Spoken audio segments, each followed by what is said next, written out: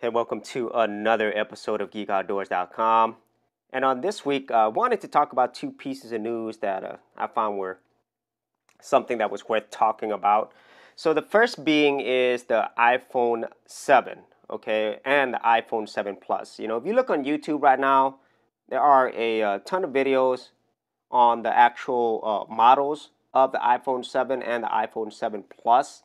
And so this is pretty much what most people believe is going to be uh, the final version of these two phones that are going to be coming out. So in terms of the actual rumored specs, you know, it's rumored that uh, the iPhone 7, which is the quote-unquote regular one, it's going to be running a uh, 4.7 inch screen, uh, which is finally going to be 1080p, amazing. Um, and also, it will have a larger camera on the back, as you could see here by the schematics. And um, the antenna bands are going to be at the bottom. And also, um, both the iPhone 7 and the iPhone 7 Plus, they are not going to have a headphone jack, as uh, been long rumored. And um, also, they are most likely going to come with the new uh, A10 chip. And here's the iPhone uh, 7 Plus. And so, you know, I think more or less, um, usually as usually how it goes with iPhones, um, you know, they're playing catch up in terms of the actual hardware specs themselves. And um, as I've stated in my other video about, you know, specs versus software, Apple is one of the few companies that really do not need to focus on hardware specs. You know, as I stated in that video, I think their software works excellent and um, it actually doesn't require a lot of really powerful hardware and at the same time they optimize a lot of things. Now because iphone is finally uh, going to be using really uh, high res screens like android phones they're going to need more horsepower not just the a10 chip but also more ram. So more than likely the iphone 7 and the iphone 7 plus is actually going to have 3 gigs of ram and there's also an iphone 7 pro as well and um, overall, I really think this is, you know, a lot of people are stating that it's a boring phone. And, you know, for the most part, uh, Apple doesn't really do anything different. Um, you know, not every single year, they really don't change much in terms of the design.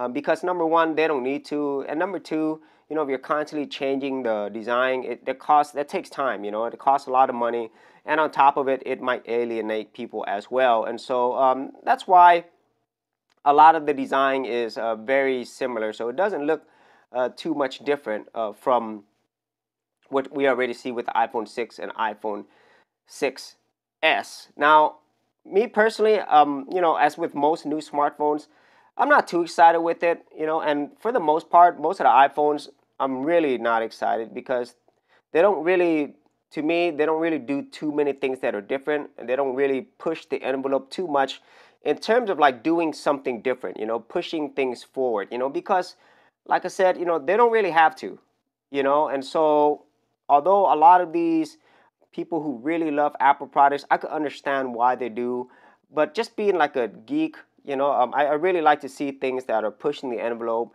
things that are trying something new. And you know, if you have an iPhone, that's usually not going to be the phone that tries to push the envelope. However, what you can almost always expect with an Apple iPhone is the fact that it is going to be built very well, very high quality for the most part.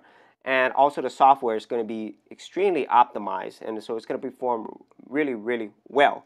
So um, those are my thoughts on the iPhone 7 up to this point um, you know, once it is does gets released on September 16th, we'll see what happens there. But as usual, I think they're going to sell a ton of them.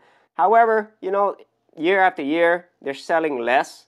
Um, you know, there's less lines, and the competition keeps getting greater.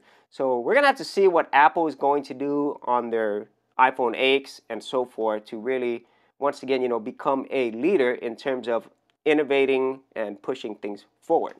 So, in terms of innovation, I wanted to talk about something that I thought was really, really cool. If you haven't seen this, uh, there's a GoldenEye Source 5.0 video. And what it is, is it's basically an HD uh, remake of uh, GoldenEye, the very beloved uh, N64 game made by Rare. And uh, man, this thing looks super sweet, you know. So, and the reason why it's called Source 5.0 is because you know it's based on the uh, Valve uh, Valve's 3D engine. So the Source engine, and um, this is not something that's new. They've been doing this GoldenEye thing, I think, for about three years now, and it just looks so awesome, you know. And the most awesome part of it is, you know, it is going to be free. Um, you could actually go here to their main site. Um, this is the site right here, and you could actually download this to your PC, and um, it's got everything that you would need.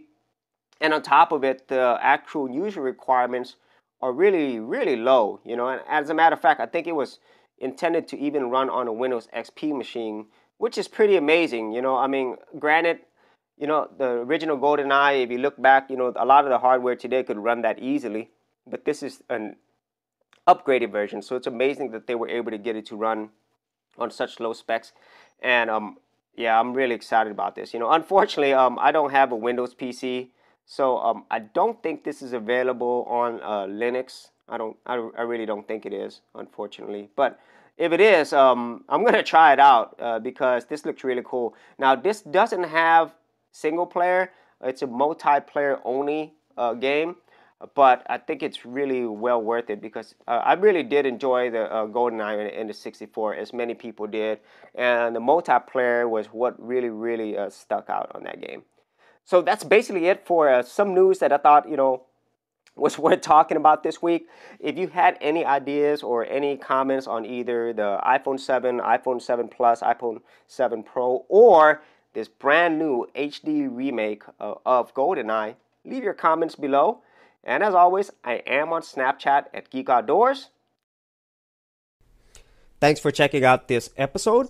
And as always, if you like these videos, be sure to click on the subscribe button. And for full written content, audio content, and additional geek stuff, head over to geekoutdoors.com. And I'll see you outdoors on the very next episode.